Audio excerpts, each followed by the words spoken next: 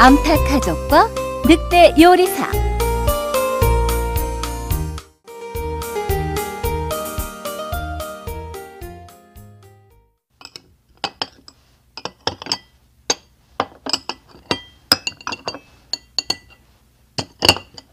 옛날 옛날에 세상에서 먹는 것을 가장 좋아하는 늑대 한 마리가 살았어요. 늑대는 아침을 먹자마자 점심에는 뭘 먹을까 생각하곤 했지요.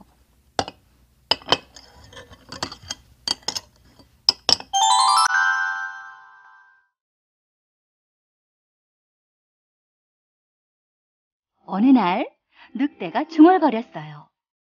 아, 닭튀김이 먹고 싶어. 오늘은 꼭 닭튀김을 먹고 말 테야. 늑대는 하루 종일 숲속을 돌아다니다가 마침내 닭 한 마리를 찾아냈어요. 옳지.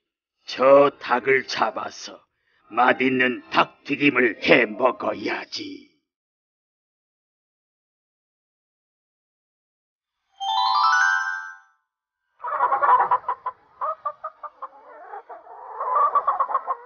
늑대는 닭을 향해 살금살금 다가갔어요. 그런데 닭은 바짝 말라 있었어요. 늑대는 크게 실망했지요.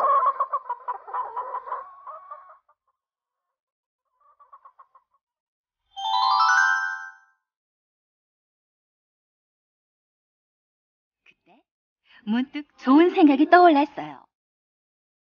이 닭이 좀 더 살찐 뒤에 잡아먹으면 더 많은 닭튀김을 먹을 수 있겠지? 그래서 늑대는 닭을 잡지 않았어요. 그 대신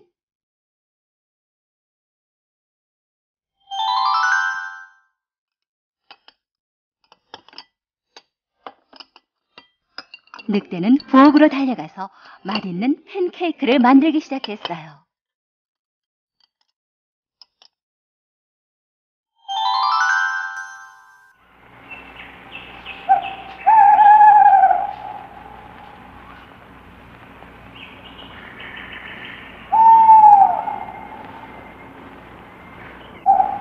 그날 밤 늑대는 팬케이크 100개를 닭집 앞에 몰래 가져다 놓았어요. 내 귀여운 닭아, 많이 먹고 포동포동 살이 찌거라. 늑대는 속으로 빌었어요.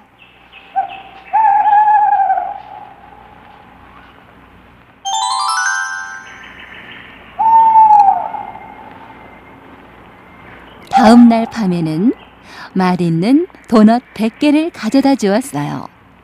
늑대는 속으로 빌었어요. 내 귀여운 닭아, 많이 먹고 포동포동 살이 찌거라.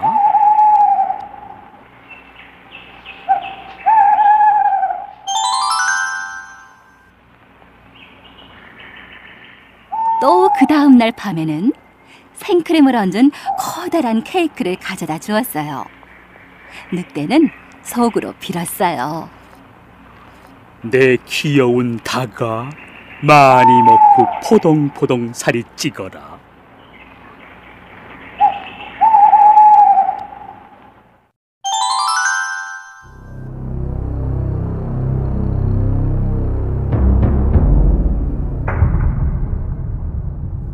이제는 내 귀여운 닭이 포동포동 살이 쪘겠지. 오늘은 닭을 잡아먹어야겠군. 늑대는 커다란 냄비를 불 위에 얹어놓고 불이 나게 닭을 잡으러 갔어요.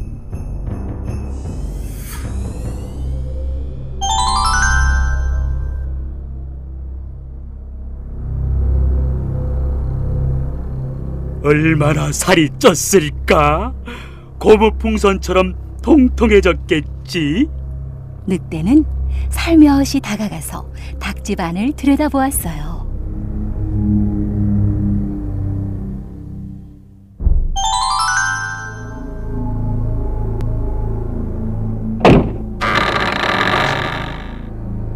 그때 문이 열리더니 어미 닭이 소리쳤어요. 어머나, 늑대 아저씨가 오셨네.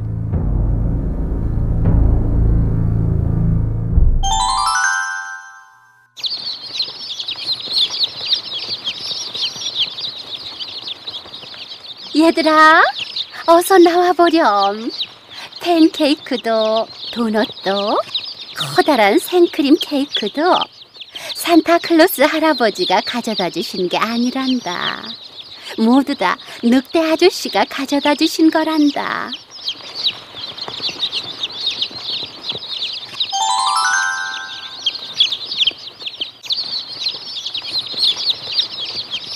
병아리들은 늑대에게 뛰어올라 뽀뽀를 100번이나 해주었어요.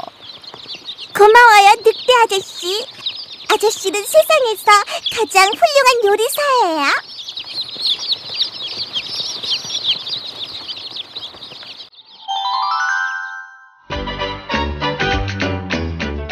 그날 밤 늑대는 그토록 바라던 닭튀김을 먹을 수 없었어요.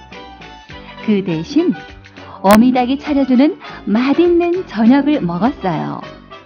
늑대는 집으로 돌아오는 동안 마음이 바뀌어 중얼거렸어요. 내일은 저 꼬마 녀석들을 위해서 맛있는 과자 100개를 구워야겠군.